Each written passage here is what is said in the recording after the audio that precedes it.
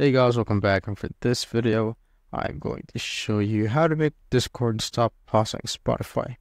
So what you want to do is go to your user settings right here, so just the gear icon right here, click on that, go to connections and make sure that Spotify is connected. So what you want to do is click on that and you'll be redirected to your browser which you will need to uh, log in with your Spotify. Once you're done with that, it will automatically display your Spotify here.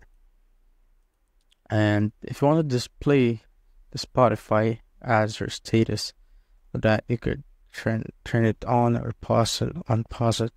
Go to activity privacy and make sure that your activity status, your shared detected activities are just turned on. And make sure that Spotify is registered uh, here. So Spotify, so if it's not registered, just click on add it. And it, as you can see, Spotify here. And just need to add right there.